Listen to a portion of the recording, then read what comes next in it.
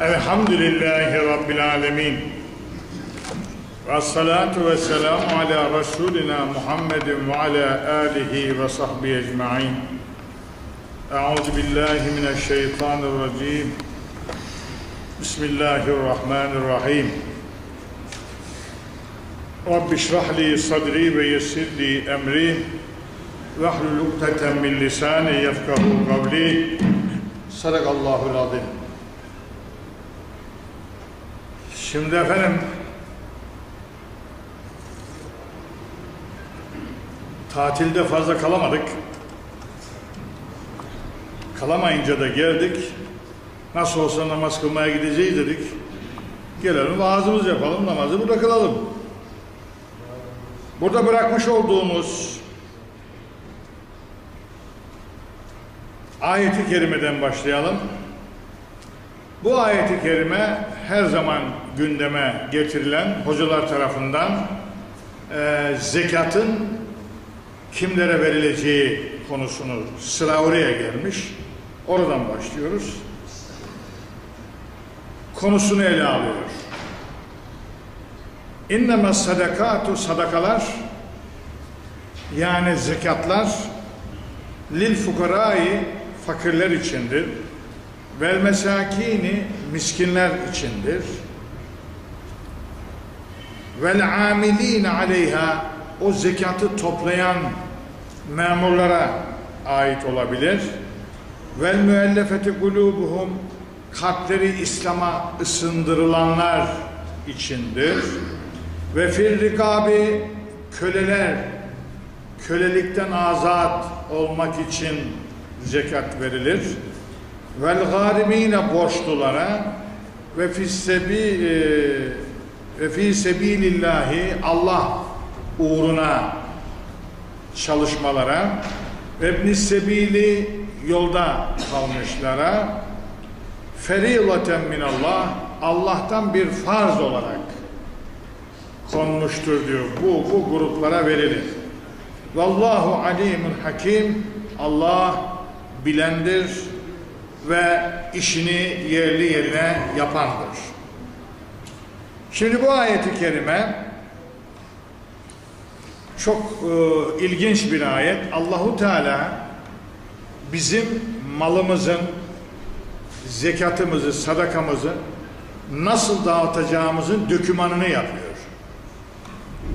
Yani öyle gelişi güzel değil diyor. Ben sizin yardımlarınızı, hayırlarınızı, zekatlarınızı nerelere verileceğinin projesini yapıyor. Şuraya, şuraya, şuraya. Allah'ın dediği kimselere vereceksin. Bize orada bir seçenek bırak.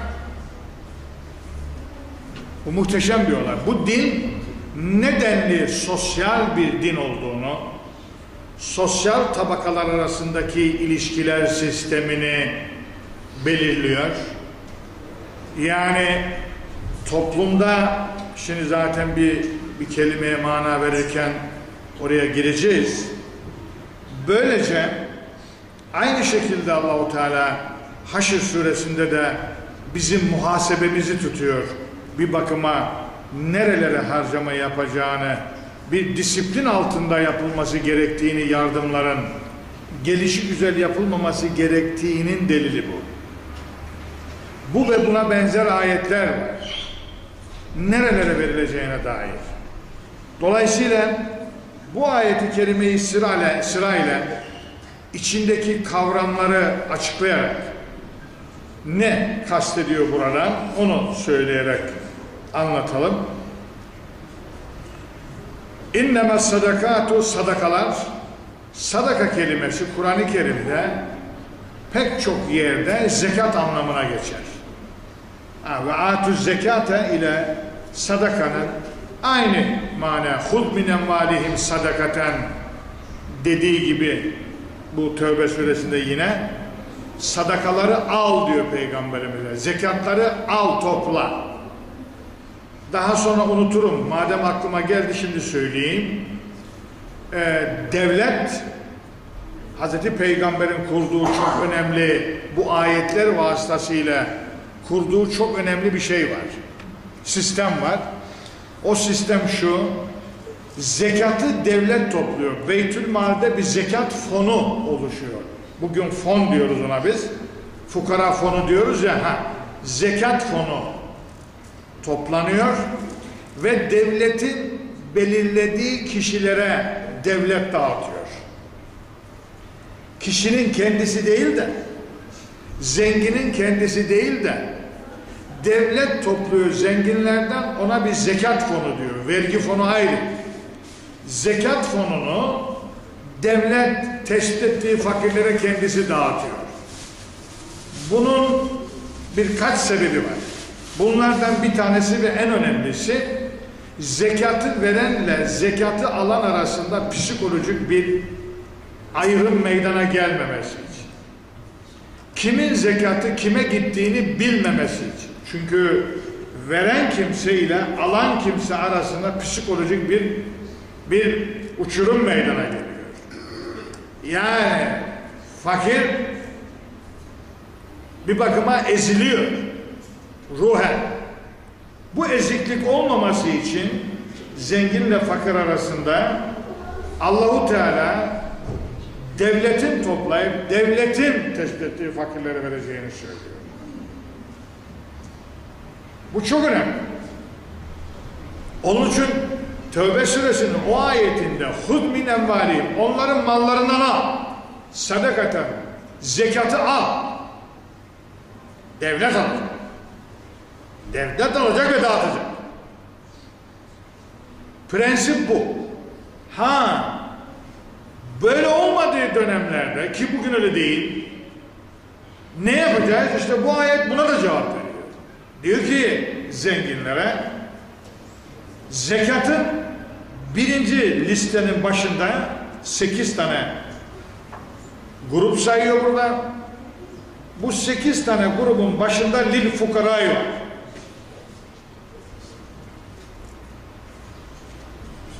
Fukara fakir demektir. Bizim bildiğimiz fakir. Fakat İslam, Kur'an-ı Kerim fakirleri bile birbirinden ayırıyor. Yani fakir var, fakircik var. Bunları ayrı. Fukaranın kelimenin anlamı yeri kazmak, delik açmak, bela manaları var. Bela, bela. Fakirlik bir toplum için bir beladır. Fakirlik toplum için bir deliktir. Delik, delik. Bu ne demek? Fakir toplumlar zengin toplumlara muhtaç olurlar. Bir takım değerlerini feda ederek karşıdan para alırlar. İşte o zaman onun manevi hayatında, sosyal hayatına bir delik açılmış olur. O fedakarlık bir deliktir. Muhteşem.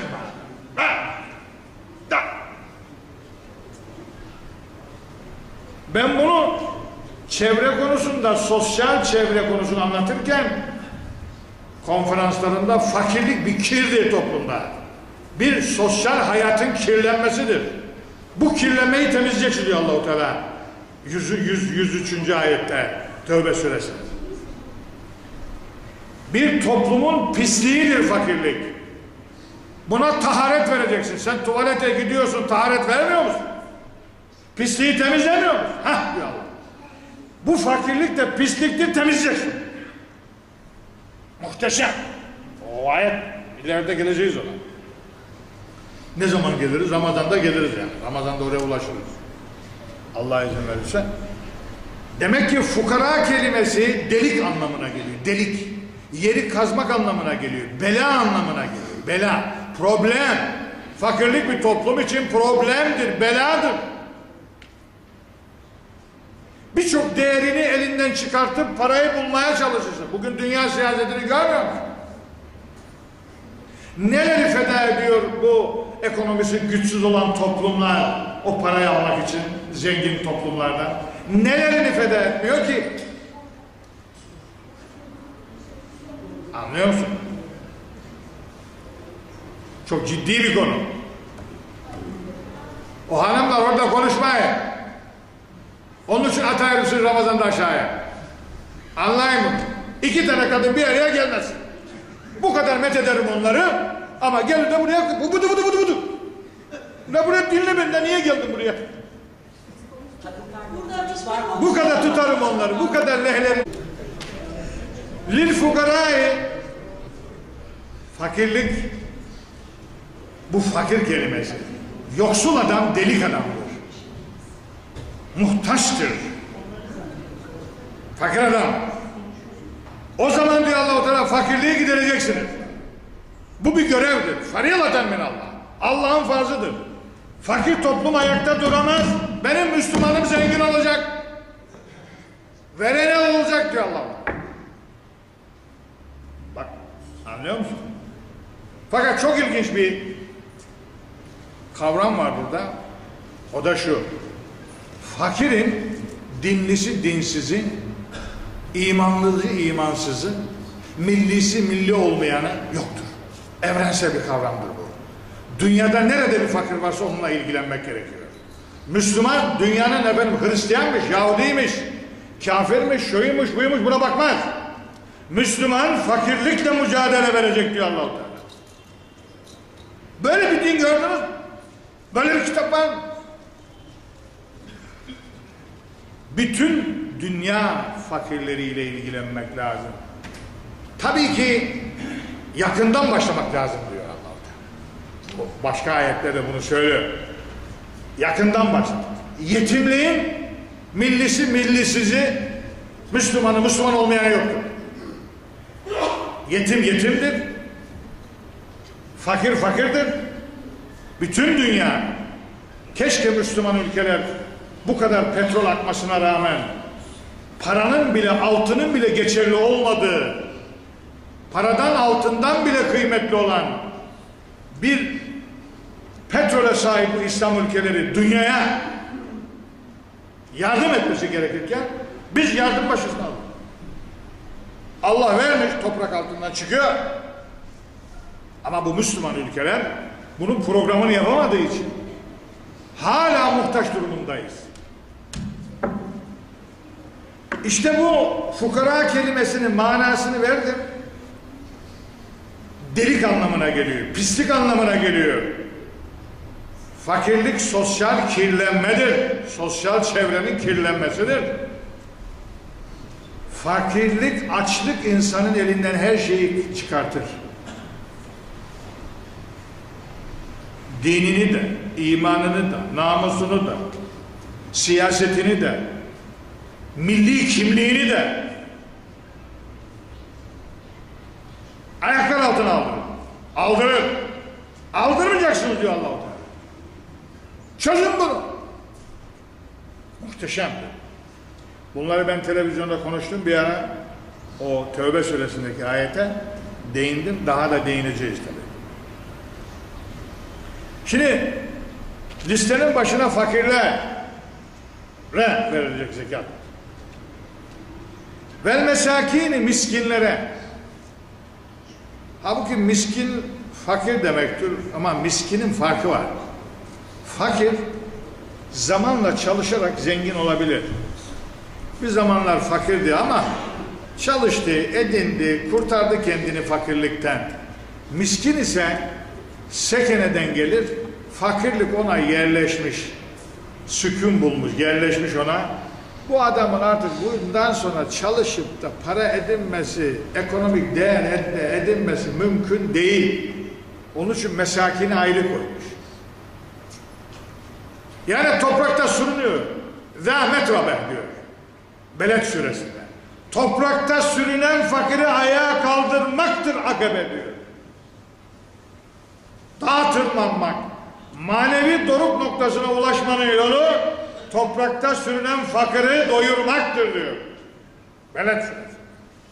Ha, işte mesakinin kelimesi yerleşmiş.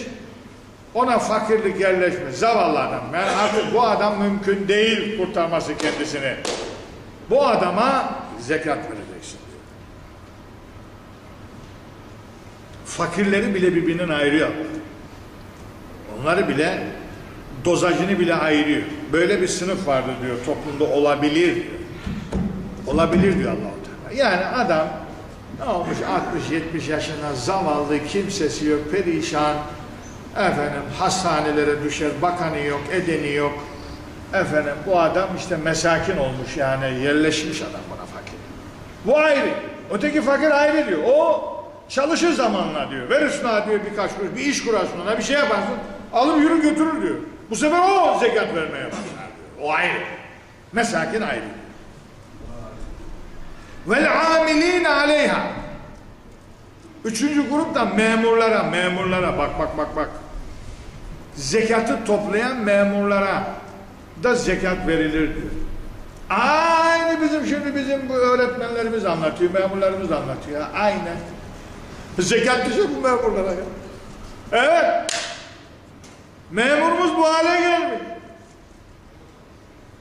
Zekatlık olmuş. Ama bak Allah-u Teala burada söylemiş. Zekatı toplayanlara zekat verilebilir. Memurlara zekat verilebilir diyor. Bu, bundan ne anlaşılıyor? Bundan şu anlaşılıyor. Demek ki zekatı devlet topluyor yani. Devlet topluyor, devlet dağıtıyor. Bu, manadan bu çıkıyor yani. Bunlar. Memurlara verileceğine göre zekat toplayanlara. Ha, memur işte. Memur demek ki maaş almıyor. Zekat toplayan memur maaş almıyor. Almayacak. Zekat toplayan. Onlara da verilir diyor. Ha, verilebilir diyor yani. Müellefeti kulubuhu kalpleri İslam'a ısındırılmış olanlara da verilir. Yani burada tam manasını konuşalım. İslami misyonerlik faaliyeti yani kafirlerin gönlünü İslam'a ısındırmak için diyor onlara da para, zekat yardımda bulur.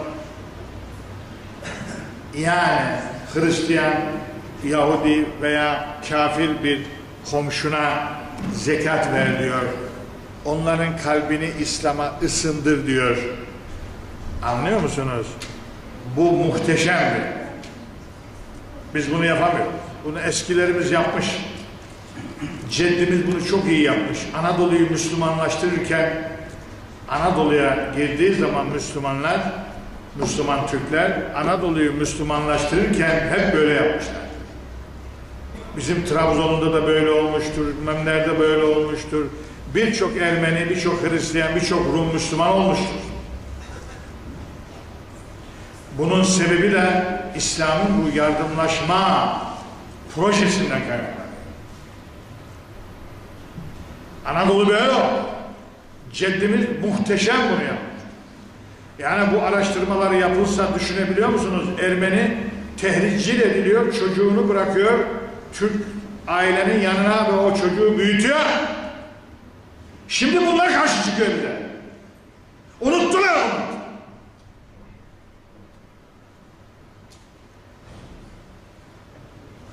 Hristiyanın çocuğunu yanına alıp onu büyüten çocuğu emzirten götüren, büyüten delikanlı yapan Türk Müslüman aileler. Unuttular bunları. İşte bu müellefi kulüp dediğimiz şey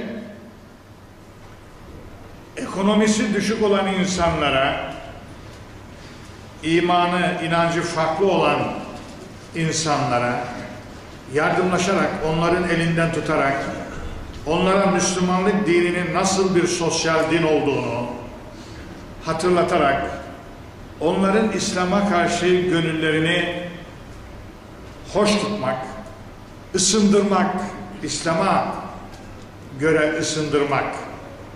Ben bundan şunu anlıyorum. İslam'ı yaymak için dünyaya, İslam aleminin bir ekonomik kuruluşu olması lazım. Yani bütün dünya profesörleriyle, üniversiteleriyle ilgili olmaları lazım. İlişkili olmaları lazım. Siyasileriyle olsun, kim olursa olsun, halkla olsun. Bu ayet-i kerime bunu söylüyor. Ee, demek ki olay şudur. İnsanın doğasında şu vardır. Ve bütün bütün canlılarda vardır bu. ekonomik menfaat nereden geliyorsa oraya yönelir. Oraya saygı duyar. İnsanoğlu böyledir. Yani affedersiniz bir köpek bile kendisine devamlı ekmek veren, et veren kapıdan ayrılmaz. Oraya durur sahibini tanır. Bir kedi bile iki kilometre mesafeye gitti babamı karşıladı. Hastaneden gelirken kedi kedi kedi. Bizim kedimiz var. Babamı çok severdi. Babam onu çok severdi. Yedirirdi, içirirdi. Sonra babam hastaneye düştü. Gelirken iki kilometre mesafede gitti karşıladı. Olacak iş bu. Ama maalesef bazı insanlar vardır. Nankördür. Kediden daha kötü.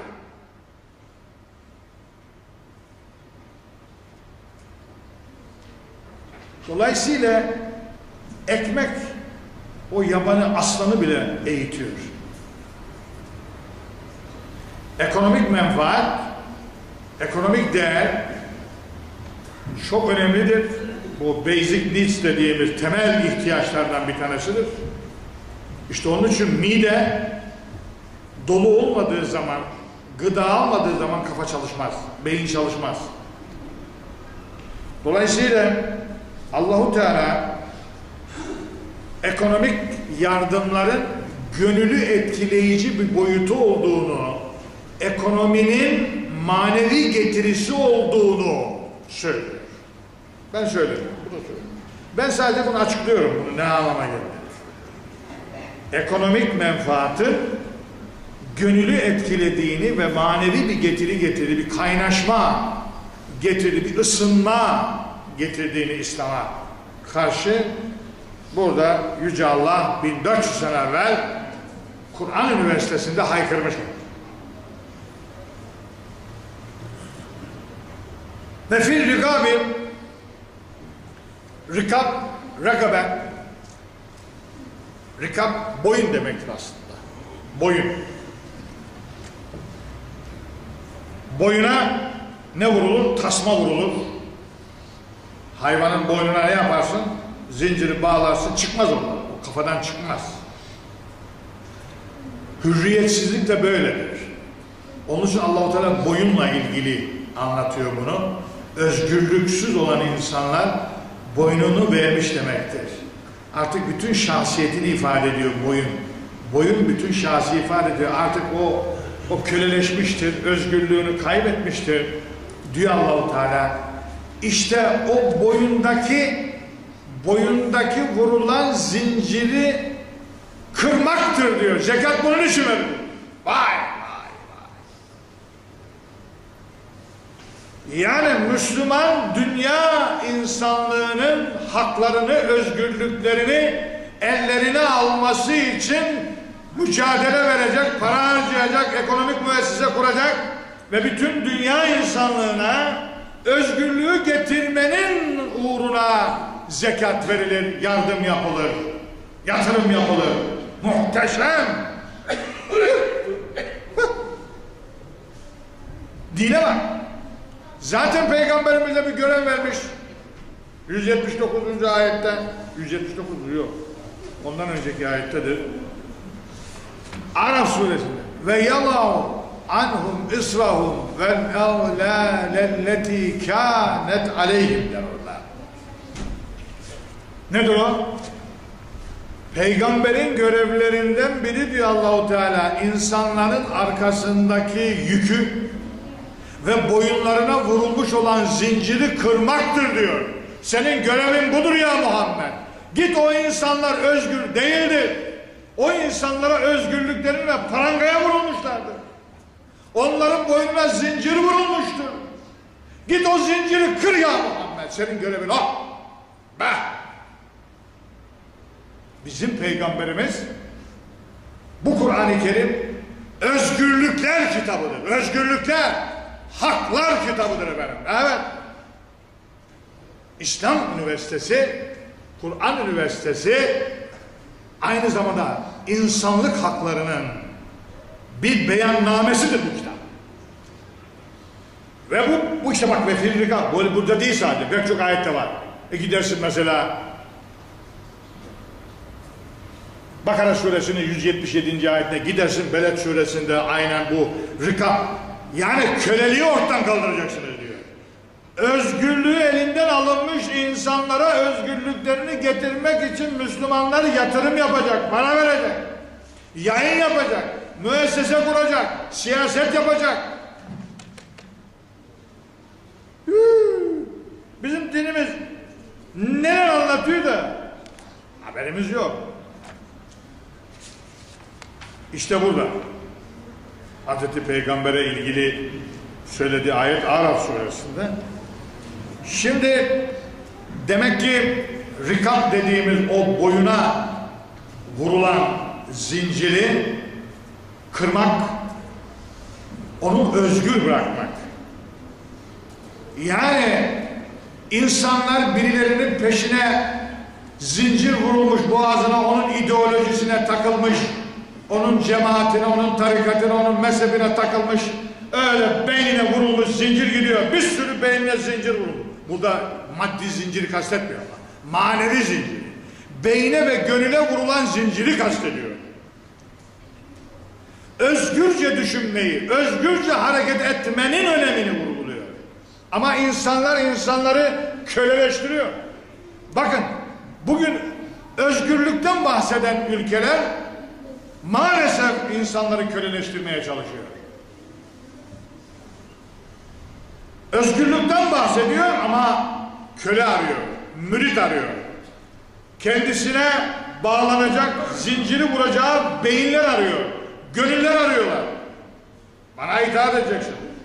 Benim dediğim siyaseti yapacaksın. Benim peşime geleceksin. Zinciri vurdum boynuna diyor. Ne yaparsan yapsın. Gidemezsin bir yere diyor. İşte bu sorgulamayan, özgürce fikrini söyleyemeyen bir sürü insan var. Sözüm ona ilim adamları. Ne alakası? Zebil olmuş, kaptırmış kendisini bir ideolojiye, zincir vurmuş beynine, farkında değil. Kafasına kaç tane zincir var belli değil. Adamın başka tarafı bilmiyor ki, okumuyor ki. Başka tarafı da okuyacaksın kardeşim. Benim cemaatimin şeyhinin, liderinin kitabını okurum, başka kitap okumayan diyen bir beyin düşünebiliyor musun? Bu özgür mü? Bunun beynine zincir vurulmuş İşte bu bizi geri bırakmıştır. Unutmayın. Siz zannetmeyin o televizyonda konuşanları görmüyor musun? Onların hepsi beyinde zincir var. Zavallı köle. Allah-u Teala diyor ki Peygamber git abi adamın beyninden o zincirleri al.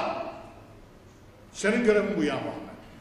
Bu özgürlükleri getirmezsen peygamberliğinin görevini yerine getirmemiş olursun. İşte benim peygamberim özgürlükler peygamberidir. Benim kitabım budur. Ama maalesef insanlar kaptırmış beyinlerini memnelere, hurafelere, memnelere grup grup olmuşlar, perişan olmuşlar. Bir sürü beyin geziyor, zincir var. Zaman köle. Şimdi fikirlerin köleliği var. Eski kölelik farklıydı. Eski köleliğe benzer mi şimdiki kölelik? Eskiden adam köleydi, bir adamın kölesiydi. Yedirirdi, içirirdi onu, buyuruyordu onu. Şuraya git, buraya git. Hukuken onun kölesiydi adam. Onu ne derse onu yanına onu yapıyordu, hizmetini yapıyordu. Ha? ha bu. Ama şimdiki fikir, düşünce köleliği, şimdiki gruplar, cemaatler köleliği, benzer mi o köleliğe? O adam farkındaydı. Ben diyordu bu adamın kölesiyim ama şimdi bu adamlar farkında değil köle olduklarının. Farkında değil adam. Kendini özgür zannediyor. Yani bir fikri reddederken zannediyor ben özgürüm. O bir şeye göre naklediyor, kendine göre değil. Kendi araştırmış da, yapmış da, bulmuş da, yanlışlığını tespit etmiş değil. O birileri öyle dediği için öyle diyor. Ha o birilerinin kölesisin sen işte şimdi. Onun için Bayraktar Hoca'yı bir yere koyamıyorlar. Koyamadığım için de karşı çıkıyorlar. Ben Allah'ın kölesiyim. Ben bu Kur'an'ın kölesiyim. Ben bunun kuluyum. Ben kimsenin kulu olamam. Bu ne derse onu. Beni kimse satın alamaz. Herhangi bir ideoloji, herhangi bir fikir, herhangi bir grup asla Ben Allah'ın kelamını okur anlatırım. Ben buraya teslim olmuşum. Şimdi bazıları Kur'an-ı Kerim'i kendi grubuna teslim etmek istiyor. Kendisi Kur'an'a teslim olmuyor. Evet. Oysa ki ben Müslümanım. Ben Kur'an'a teslim. Başkaları Kur'an bana teslim olsun diyor. Ha? Siz o hocaları bilmiyorsunuz ki. Ha? Anlıyor musunuz, anlamıyor musunuz bilmiyorum ki. Kur'an bana teslim olacak diyor. Ben Kur'an teslim olmam. Benim ideolojime göre, benim cemaatime, tarikatıma, mezhebime göre yorumlarım ben bu Kur'an'a. İşte bu. İşte rezalet bu. İşte rikab kelimesinin bu anlama geldiğini, özgürlüğü ifade ettiğini, kölelik manasına geliyor. Boynundan yakalanmış, beyninden yakalamış adam götürüyor onu. Nereye götürürse götürüyor onu.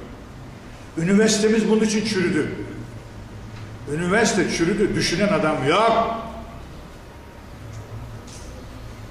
Yemeğini pişiren adam yok. Mutfakta adam yok. Hep garson. Garson. Üniversite bizim. Garson. Garson. Yemek taşı. Başkası üretir o taşır. Ama o yemeği pişir de sonra pişiremez. İşte bu bu köleliktir işte. Sen hizmetçisin kardeş. Başkasının ürettiklerini taşırsın sen. Senin kafan, beynin bir şey üretemez. O zaman da sen kendin özgür değilsin. Bırak bu işi. Uf. Şimdi bunun altında ezilmede neyin altında ezilirsin bu ayetin? Bu kitap bu, bu, kısmının ha bu ve fir rikabı var ya. Allah diyor ki köleleri özgürlüğüne kavuşturmak ibadettir. Aman, aman, aman. İbadettir, ibadet. Hatta amelinde bir hata yaptın mı diyor, köleyi azat edeceksin. Amelinde bir hata yaptın. Ha? O zaman köle azat edeceksin. Ha bu işe bak ya. Ha mesela, mesela gidelim Mücadele Suresine. Bak şimdi ne diyecek? Bu, bu kitabı, bu ilahi vahiy kitabı olduğunu yani bundan anlamak zaten yeter ya. Yani. Gözlüğüm dalmadım ki mübarek.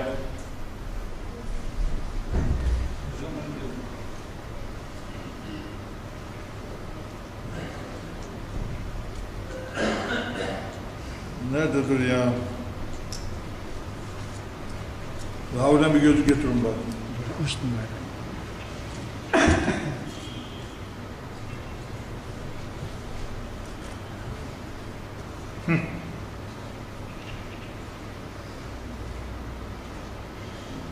Bak şimdi. Şimdi diyor ki Allah. Bir erkek hanımının herhangi bir organını annesine benzetemez. Bak.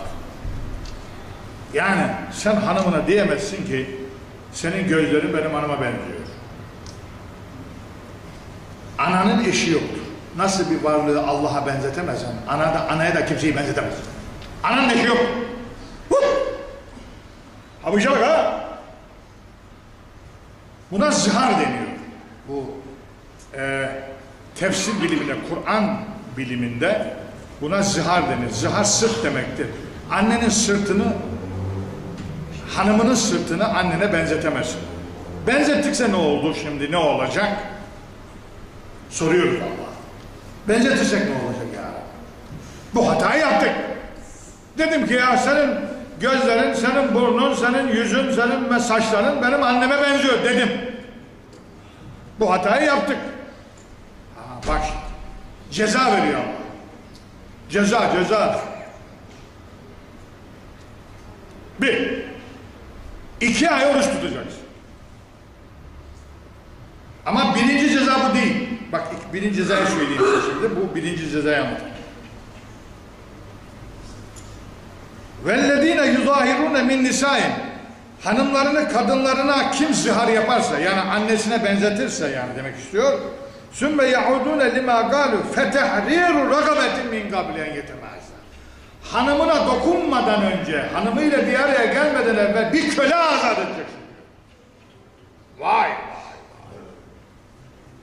Köleye azat edecek.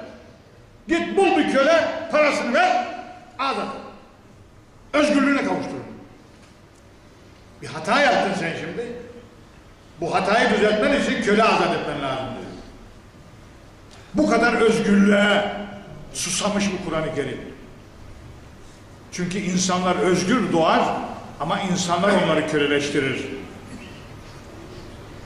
O özgürlüğe mani olmayın diyor. Aksın diyor o. O ırmak aksın. Doğada benim yarattığım fıtrat kanunundaki özgürlük aksın. Bırakın o ırmağı. Peki onu yapamazsa ne oldu? Köleyi bulup azat edecek parası yok idi bu adamın. İki ay oruç tutacak. Hem de hiç bozmadan, karına yaklaşmadan. İki ay oruç tutacaksın kesintisiz diyor. E ama bu adam ya yaşlıydı da yaşlıydı, oruç tutamaz bu adam. O zaman diyor 60 kişiyi doğuracak, do, doyuracak. Cezalara bak. Üç tane seçenek. Muhteşem bir şey yani. Bu hukukta ceza, hakimde ceza seçimi yaparlar ya kanunlar da vardır bu. İşte ya 8 sene yatar ya para cezası verir ya ne yapar şunu yapar bunu yapar falan var ya ha ha ha. O bak Kur'an 1400 sene evvel öğretiyor. Hukuk öğretiyor. Modern hukuk öğretiyor. Şimdi buraya nereden geldik? Şeyden geldik. Özgürlük meselesinden geldik. Ve fil rikabiden geldik. Bunlara da zekat verilir diyor. Köleyi azat etmek için, insanları özgürlüğüne kavuşturmak için Müslümanlar zekat verecek, yatırım yapacak, yayın yapacak, müessese kuracak, bütün insanlığa özgürlüklerini kavuşturacaklardır. Vel garimine sayıyor şimdi daha sayıyor. Kaçıncıya geldik şimdi? Altıya geldik abi. Yedi sekiz. Borçlulara diyor, borçlulara. Borçlulara da zekat verilir diyor. Adam borçlanmış. Bir iş yaparken başa çıkamamış. Veya o borçlu sana borçludur ha. Öyle de düşün şimdi. Onda Bakara suresinde söylüyor. Diyor ki boş para verdiğiniz adam diyor size bunu veremeyecek durumdaysa diyor geri onu onu zekat olarak bırakın ona diyor. İnfak olarak bırakın ona diyor. Ben sana bunu bağışladım diyor.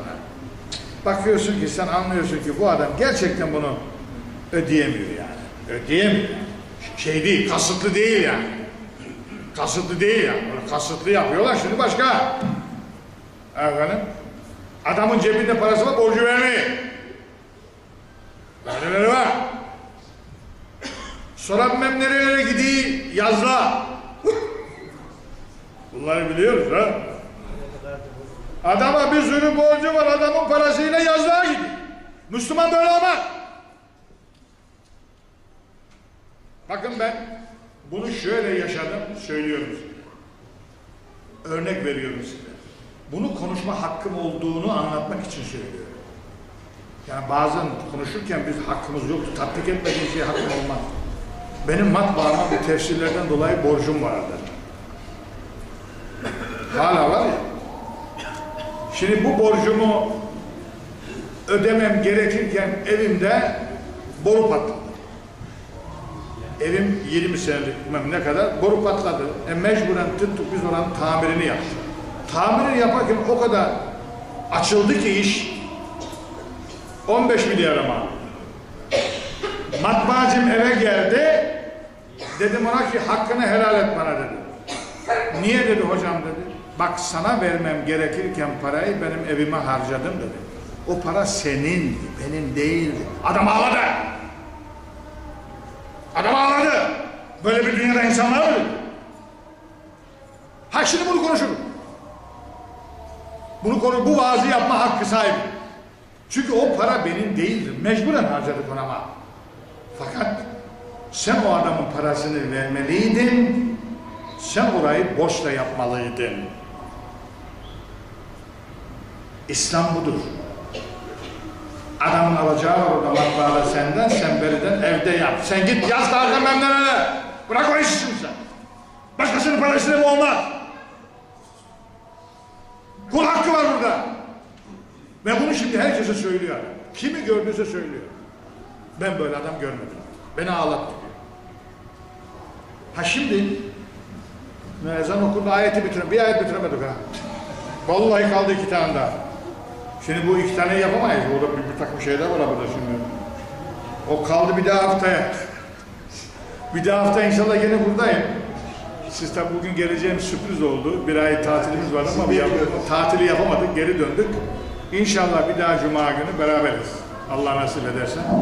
Allahu Teala Kur'an-ı Kerim'i doğru anlayan, doğru anlatan ve doğru tatbik eden kullarına eylesin. El Fatiha.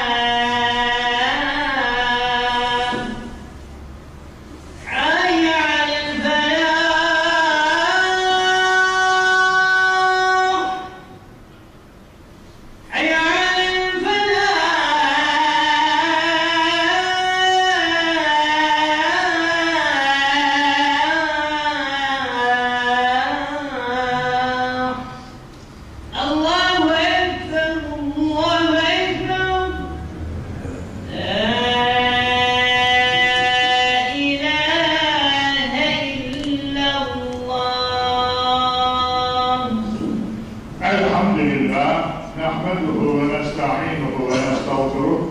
من يهدي الله فلا مضل له ومن يضلل فلا هادي له. نشهد أن لا إله إلا الله وحده لا شريك له ونشهد أن سيدنا محمدا عبده ورسوله. قال الله تعالى في محكم كتابه الكريم أعوذ بالله من الشيطان الرجيم. بسم الله الرحمن الرحيم. قل يا عبادي الذين اسرفوا على انفسهم لا تقنطوا من رحمه الله ان الله يغفر الذنوب جميعا انه هو الغفور الرحيم صدق الله العظيم Muhterem cemaat-i Müslümin, önümüzdeki günlerde Berat Kandili olduğu için mu- müftülüğümüz hutbenin bu ayet-i kerimeden verilmesini istedi. Ben de kendi üslubumla bunu açıklayacağım. Kur'an-ı Kerim insanlara bir psikolojik davranış biçimi kazandırmaya çalışıyor. Kur'an-ı Kerim'in amaçlarından biri bu. Nasıl ki bir toplumda siyasi dengeler, ekonomik dengeler, sosyal dengeler varsa, aynı zamanda bir insanın iç alemindeki dengeler vardır. Psikolojik dengeler vardır. Bu genelde beyin, gönül ve nefis arasındaki dengelerle oluşur. Ama bir insan e, bu dengelerin pek çok görüntüleri vardır Kur'an-ı Kerim'de. Bunlardan bir tanesini bugün ele alacağız. O da şu. Kötümserlikle iyimserlik arasında Müslüman kendine psikolojik açıdan bir yer bulmalı. Ne çok iyimser olmalı. Yani ben namazımı kıldım işte, orucumu tuttum, ben cennetli. Bir, ben eşlik getirdim. Başkalarını tehdit etmeye başladı. Kendini kurtarmış. Bu kadar aşırı bir iyimserlik normal değil diyorlar. Ha, bir de bir kötümserlik var bunun tersi, karşıtı. Öldüm, bittim, ben günah işledim, ben de altımla, çamurla battım ben, boğuldum ben, ben ne edeceğim? Devam et bu kötü amellere diye. Böyle bir kötümserlik bürünmesi de doğru değildir bir anlamda. İnsanoğlu daima iyimser olacak ama o korkuyu da içinde yaşatacak. Bunu Allah-u Teala Kur'an'da muhtelif ayetlerde anlatıyor. Okumuş olduğum ayeti kerimede şöyle buyuruyor. Kendi ruhunu, şahsiyetini heder eden, boşa harcayan adamlar vardır. Günahtan bakmaz. Sakın ha Allah'ın rahmetinden, merhametinden ümidini kesmesin. Benim rahmetimden ümit kesilmez. Ben bütün günahları affederim. Ben affedeceğim merhamet sahibiyim. O zaman Allah'ın bulunduğu bir yerde kulda ümitsizlik olmaz, karamsarlık olmaz. Ben bir çıkış kapısı veririm sana. Sen dön tevbeni yap, bak sana çıkış kapısı veriyorum ben. Yeter ki sen dön bak. O günahından, o pisliklerinden dön, tövbe et, istiğfar et. Benim kapım açık. Çıkış kapısı var. Şirk koşanlar hariç. Onu da başka bir ayet söylüyor. Allah şirki affetmez. Şirk edene kapı kapı. Ha şirkten döndü. Tevhid inancına döndü. Ağlarına kapı açıktı. Kapı açıktı. Dolayısıyla Kur'an-ı Kerim bir çıkış yolu bulan bir kitaptır. Bir çözüm bulan, insanın kötümserliğini ortadan kaldıran, ona dengede bir psikolojik, bir manevi, bir düşünce tarzı aşılayan bir kitaptır. Onun için Secde Suresinin ikinci sayfasında tetecafa cunubuhum anil melaci'i yed'ûne rabbahum havfen ve damâne. İşte bu ruh dengesi budur. Onlar gece vakti yataklarından kalkarlar diyor allah Teala. Ve Allah'a korku ve ümit dengesi içerisinde ibadet ederler, yalvarırlar diyor. Korku ve ümit dengesi içerisinde. Ne çok korkacağız, ne çok ümit var olacak. İkisinin arasında bir denge. İşte Kur'an-ı Kerim'in bize sunduğu şudur. Talak suresinde muhteşem anlatır. Özellikle aile ilişkiler sisteminde bunu anlatır. Eğer siz samimi olursanız Teala, takva sahibi olursanız size işinizi kolaylaştırır. Size bir çıkış kapısı sunar. Hiç ummadığınız yerden sizi rızıklandırır. Bunlar ayetler karşımıza var. Dolayısıyla değerli kardeşlerim, yeter ki biz günahımızın farkına varalım, bilincine varalım, bunu Allah'a özünü dileyelim, istiğfarını yapalım. Allah'ın kapısı her zaman açıktır. Ümitsizlik kapısı yoktur. Ve selamu ala men ittiba'al huda.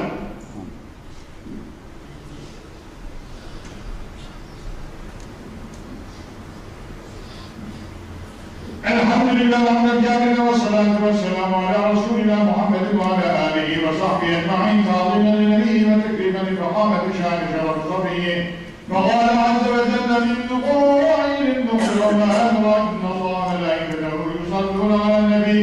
يا أيها الذين آمنوا صلوا عليه وسلموا تسليما.